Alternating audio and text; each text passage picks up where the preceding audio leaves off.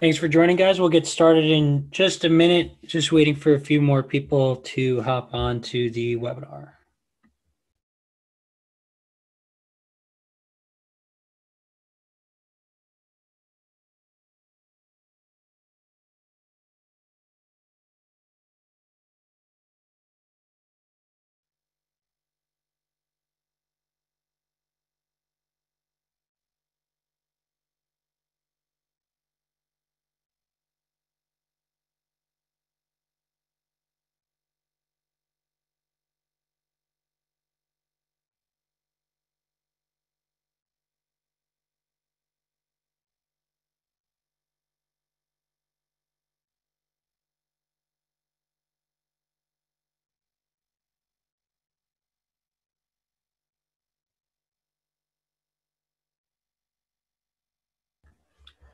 All right, thank you guys for joining the webinar today.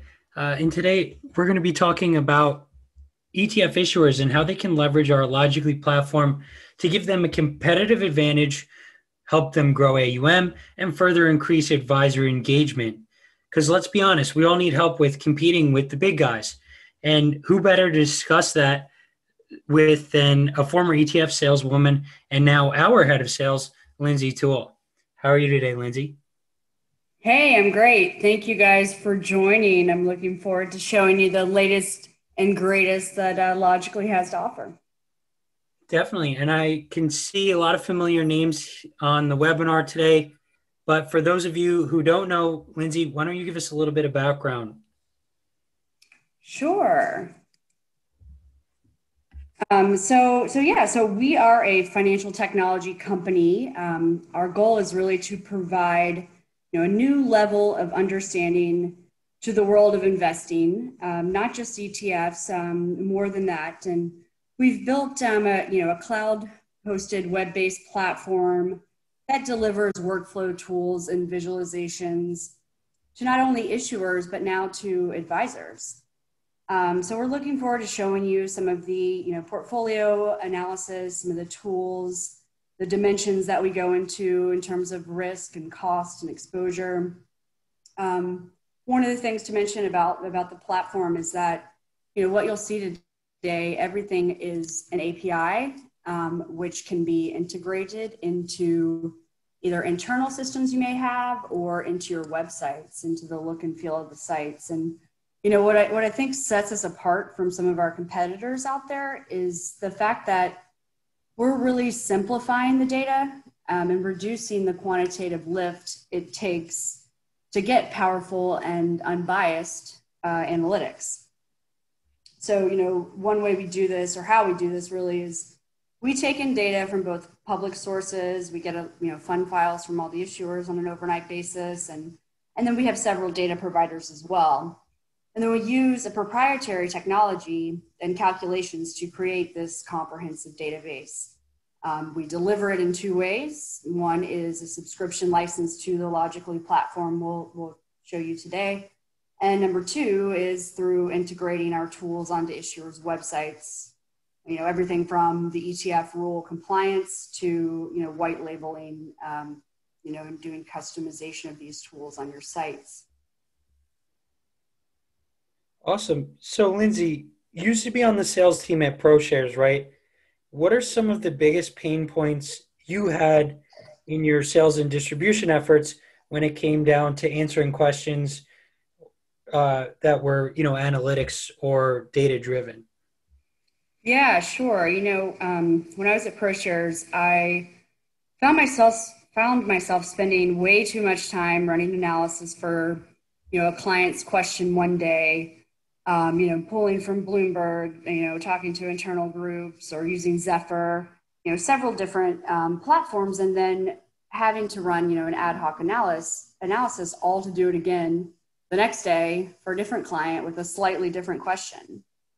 Um, you know, another pain point we're all painfully aware of is that there are two very large players out there that really dominate the ETF space and they have their own big teams and unlimited resources to build these type of analytics. So you know how do you how do you compete? How do you keep up? And you know, I think if I had access to LOGICLY at, at ProShares, it would have allowed me to focus more on, you know, sales and, you know, building the relationships, um, you know, which is what I like to do and I think I'm better at. Um, and, and having access to, you know, the click of a button running these analytics and, and having a nice report that I can just immediately send to a client to answer that question um, would be, would, would be extremely helpful. Um, you know, also the, the platform is very, you know, mobile, iPad friendly. Um, if we ever get back on the road, um, or you know, now and in a setting like this, you can easily pull up the platform on Zoom and run the analysis on the fly, which which really I think proves to the client, um, you know, just the the accuracy of it, and and it shows them what what you're doing to to give them that answer. Excellent. So, from speaking with all of our issuer clients, it seems like there are really three main questions that they get from advisors, right? And number one being, how can I compare your ETFs with peer group names? Number two being, your ETF doesn't trade much on screen, so how can I assess the ETF's true liquidity? And number three, uh, probably the most important one, right? How do your products fit within my existing portfolio? So, Lindsey, why don't you run us down through each one of those questions and how you would answer it if you were a salesperson at an ETF issuer. Awesome. Okay, so let's tackle that first one first. So, how can I compare your ETFs with, you know, comparable ETFs? Um, so in this case, I, I to show you guys the screener tool because we've done a lot to this. So you might remember these kind of predefined filters here. Um, so let's say you don't, you know, you don't have a peer group, but in this case, let's say we want to look for U.S. equity, um, ESG related ETFs. So as you can see in this detailed screener here now, um, there's several different tabs. You know, we're showing over 7,000 funds. That's because now we have global listings, so all ETFs, UCITS, um, you know, et cetera, ETNs. And there's a lot of ways that you can sift through this universe. This is specifically, you know, helpful for for advisors trying to find, you know, the right ETFs and not just looking for the ones with the cheapest expense ratio. Um, so, you know, you can sort by benchmark. You know, you just want to look at funds that are using an index provided by MSCI, for example. Um, you know, you can just go in and, and type in an issuer if you know you want, you know, American Century funds or you can you know look at quant stats so the volatility the momentum so there's a lot of different ways that you can sort down the universe um, but in this case like i said let's go into the general tab and let's look at equity each time i push this it's, it's bringing down that universe. And let's look at you know only etfs and let's look at you know trading in the us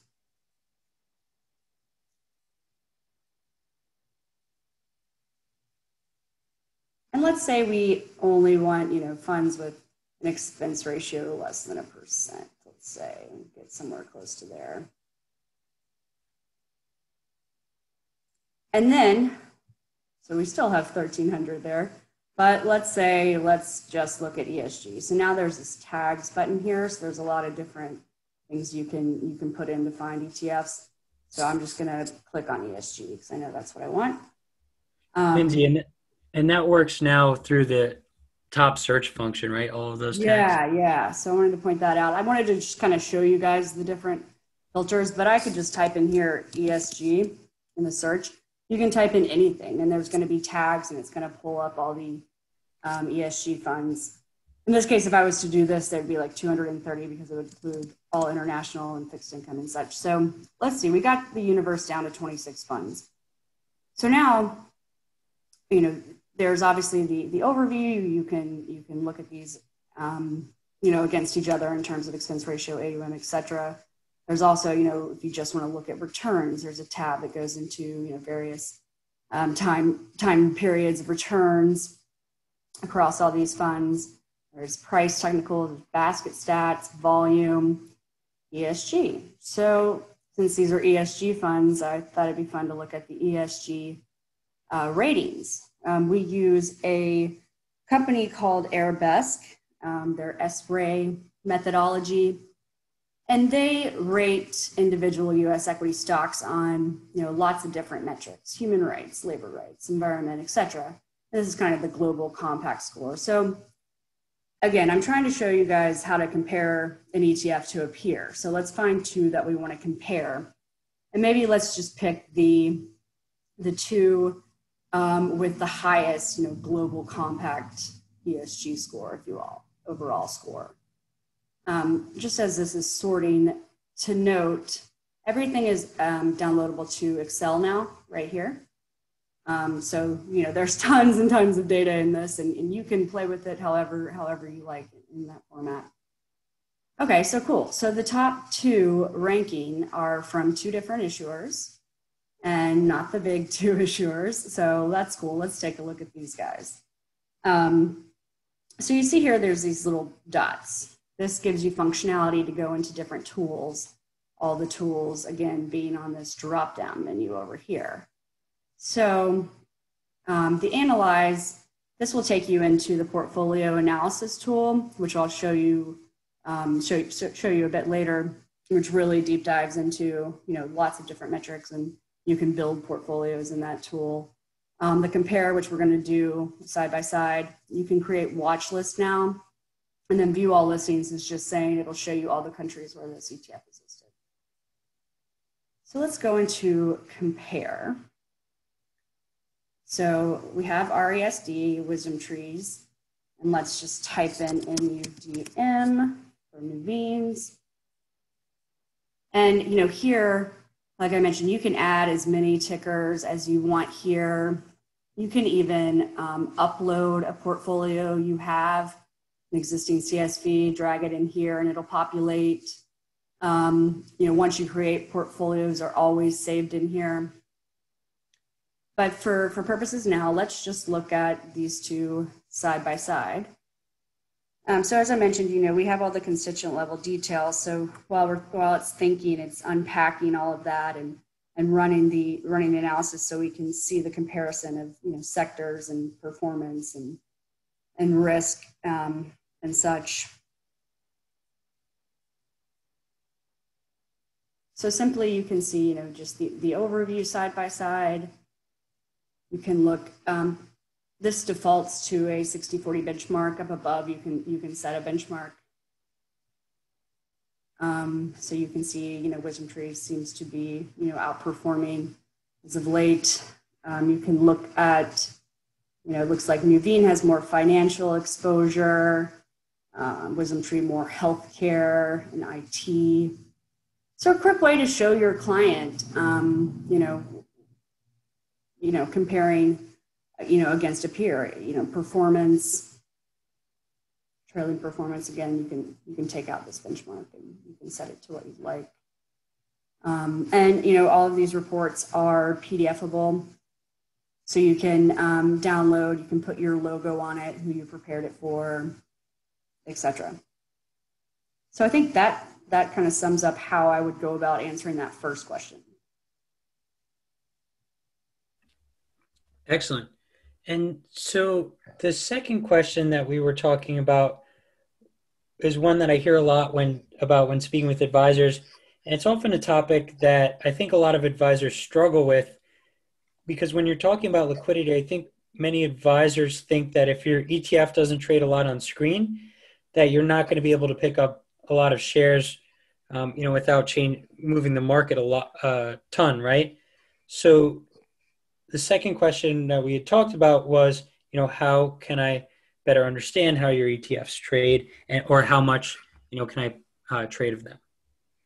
Yeah, sure. So that's our basket true liquidity tool down here. Um, so, you know, the purpose of this is really to provide an accurate, you know, trade size estimate for a given impact cost, um, of, you know, of, of an ETF basket. Um, here you can use these toggles to you know change these, change the um, you know amount you want to trade or participation rate. You can drop the lowest components.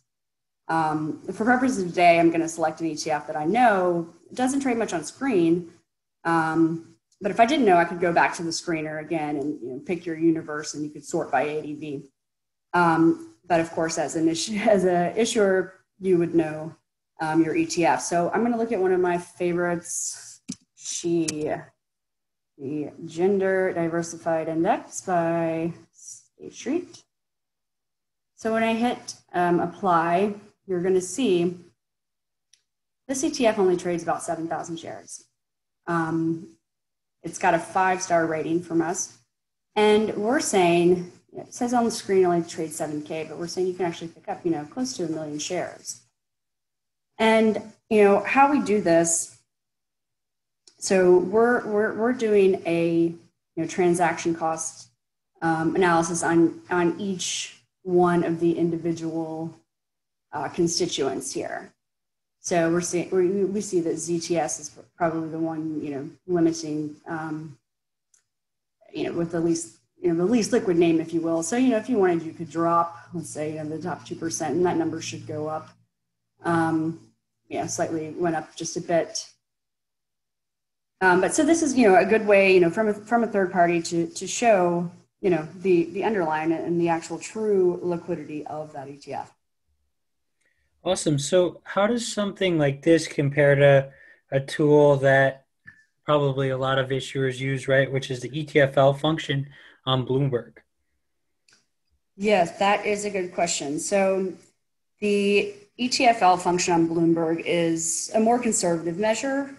Um, this shows you how many shares you could get while being no more than 25% of the you know 20 day ADV of any security in the basket. So it's basically just taking the lowest ADV component and assuming you can pick up only 25% of that. Um, so as you saw, we do our impact cost model on you know each constituent in, in the basket. Um, so this is, is this is technically the ETFL function here, uh, basic implied liquidity, and this is what we're, we're saying up here.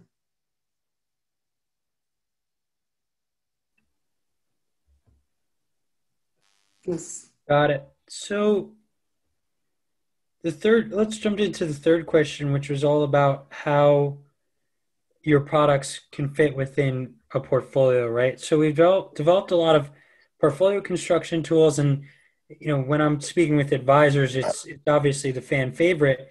But how can ETF issuers leverage those same tools to communicate the value of their products better? Yeah, so let's go to the portfolio analysis tool. Um, so this looks similar to the side-by-side we showed earlier. Um, but so there's you know many ways you can upload a portfolio. You could manually input here. You could, as I showed you before, you could upgrade or sorry, upload. Um, also, something that's new is that we have integrations with over you know 30 plus custodians. So the financial user or financial advisor could go in and actually pull their client's account down from Fidelity, Schwab, wherever, directly into this tool. But for the purpose of today, I just am going to pull up a loaded portfolio I have and keep it simple, um, just a 60-40 SPY AGG. So when I hit apply, you're going to see several different tabs um, with a deeper dive into the performance, the risk, the cost factors, um, ESG, etc. So we won't go into all these tabs at this point, but let's just look at this now and just from a high level, you know, 12, 12.7% return over the last year, you know, about 20% volatility or risk. The weighted average expense ratio is 7.3 bips. So now let's say we are a WisdomTree salesperson and we're, we're saying, you know why don't you take some of that SPY exposure and put it into our growth leader front fund, PLAT. So let's just take, um, let's take 10% out of SPY and put it in there and let's see what happens to the portfolio. So when we hit apply, we will see again those those different grids and we'll see oh wow look we boosted our performance but from 12.7 to 15 percent the volatility of the risk actually went down a little bit. And of course, this expense ratio went up just a tad, um, which the performance, you know, overcompensates for. Um, just to show you some of these tabs, um, you know, for any portfolio that you that you put in here. Again, you can put single stocks, you can put um, you know cash positions, and very soon you can put mutual funds in here to create your portfolio. So it'll give you a good breakdown um, of sectors of the fixed income, uh, bond types, maturities, you know, credit exposures. That's just on the exposure tab. And of course, there's the factors tab, um, which will give you, um, again, the benchmark defaults to 60 40 SPY AGG, but you can change that. Um, you know, the beta sensitivities to you know, the, the, different factors, which allows us to do this factor back test. So you can say, you know, before these ETFs were around, this is kind of how it would have performed uh, given the factor, you know, composition of the portfolio.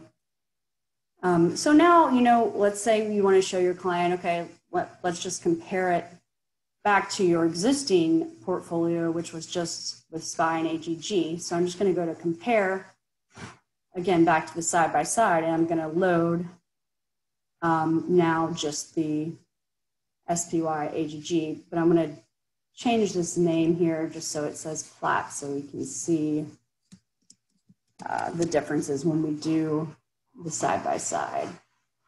So quickly, I'm going to hit apply again.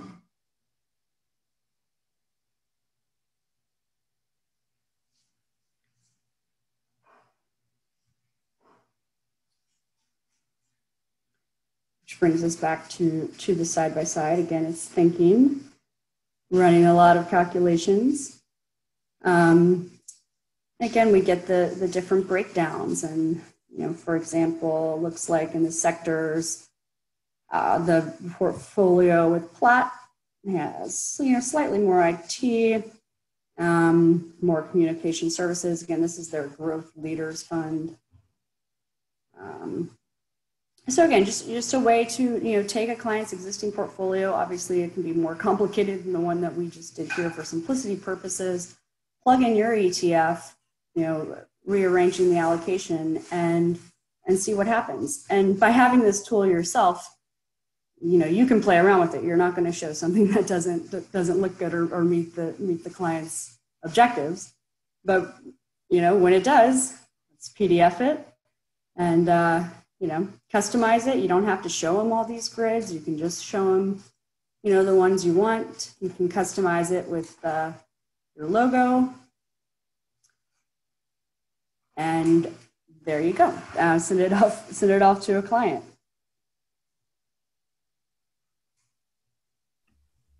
Excellent. Well, it looks like we're coming up on 30, Lindsey. Uh, should probably pass it over to uh, the Q&A section. So we have a couple questions, um, one in the chat and then a couple via the Q&A. So the first one was from Samantha, and she asked, can we wait, white label tools uh, for other websites? Oh, yeah. Yeah, no, that's great. Um, thanks for asking because we are doing a lot of that custom work right now um, for issuer clients. You know, I, think I mentioned in the beginning that all of the tools that you saw are APIs and they can be plugged into the look and feel of your website. So we really, you know, take the heavy quant lift off the plate. Um, definitely a, reduction in cost in allowing us to do it than trying to build internally. Um, you know, the tools are already built; they're ready to go. They're global um, you know, we, we think, and we've seen, you know, the ROI on, on having these tools on your site versus maybe, you know, an advertising campaign is, is extremely more, more effective. Um, I think some of you guys know that we did integrate with, with the New York Stock Exchange um, with some of, you know, for, for tools on their site. And then we recently did with ETF Stream. Um, so you see here, can you see the ETF Stream site. So here, all these ETFs are, you know, um, they mentioned in one of their news, you know, in any of their news articles, and they're hyperlinked. So let's say we want to click on, you know, this one and, and learn more about it. It pulls it directly into into our platform. Um, and this is kind of the, the overview page. Um, you know, I didn't show you an overview page, but we have for, you know, for every ETF out there globally. Um, and we give, you know, quite a bit of, of information here. And this is an example of, you know, integrating into an existing website. Um, and, you know, obviously you can have behind the screen, you know, a login or a professional login where you have some of the tools like True Liquidity or, or the side by side. Um, so yeah, so very, very robust. And, you know, we, we did this very, very quickly. Our engineering team, I have to give them a shout out because they are excellent and make our jobs a lot, a lot easier.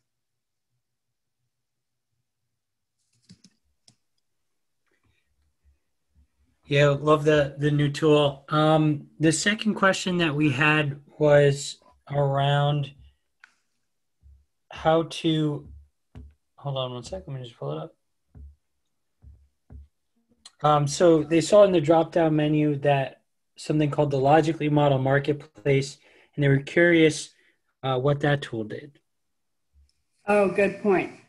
Um, thanks for bringing that up, did. So so you see in, in the toolbar here, we have the, the LOGICLY Marketplace, and, and this is a fairly, fairly new initiative for us, but you know, as advisors are moving more and more into models, uh, they need help navigating the, that landscape, and they need tools to you know, evaluate the models you know, quickly, do their due diligence, decide which ones they want.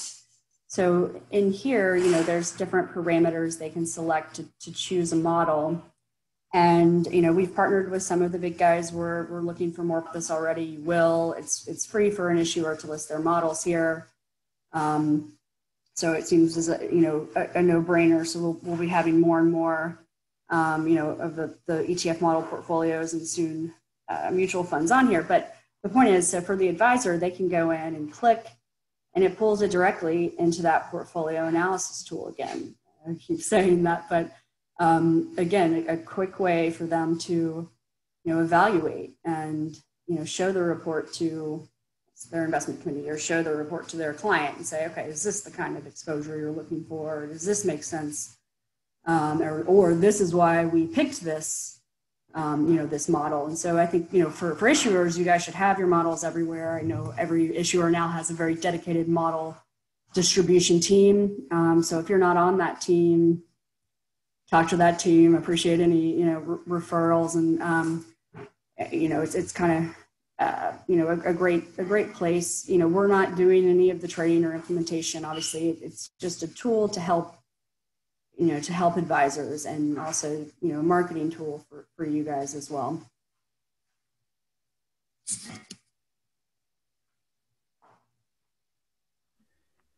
Excellent. Um, I just put in the chat if you guys want to drop any more questions. We do have one more, um, so we can answer two. Uh, the question three was Do I have to manually input holdings into the portfolio analysis tool that you showed before?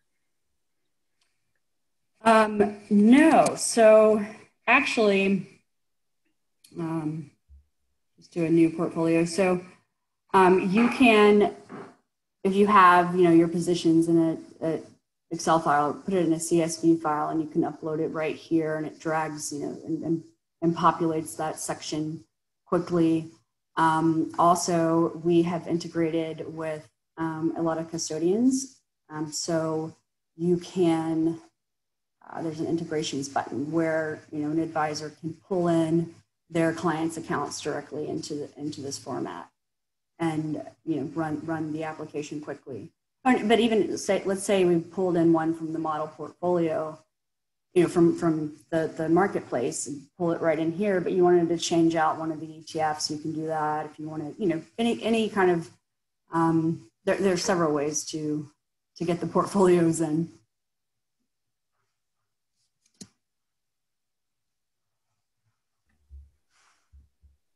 Awesome. Well, I think that wraps up the questions that we had from the audience. Um, Lindsey, maybe we could just close out the event. Yeah, so I said there'd be a surprise at the end in one of my recent LinkedIn posts. So the surprise is because this was just a teaser of the platform, I'm giving out a one free week trial um, for those of you guys that, that aren't our clients already. Um, so please go to app.logicly.finance slash sign up and your code is issuer 2020 um, and you can get a free week trial. And also you know please reach out to me at anytime lindsey l-i-n-d-s-e-y at etflogic.io um, thank you guys so much for joining. I love sharing our product. We're really excited about what we've built and we've had some great um, you know issuer clients and we're really building this advisor um, you know audience. And i think that's actually really great for you guys as well. It helps our relationships with you and we will have more data to, to feed you on what advisors are doing. And um, there's just a lot a lot of partnership opportunities and we look forward to um, more of these and, and talking to you guys and maybe seeing you in person soon awesome yeah and um, for anyone that wants to forward this webinar uh, to their colleagues. It has been recorded, uh, so you can do, do so, and that uh, free trial code uh, will be available to them as well. Thank you guys so much, and uh, have a great day. Thank you.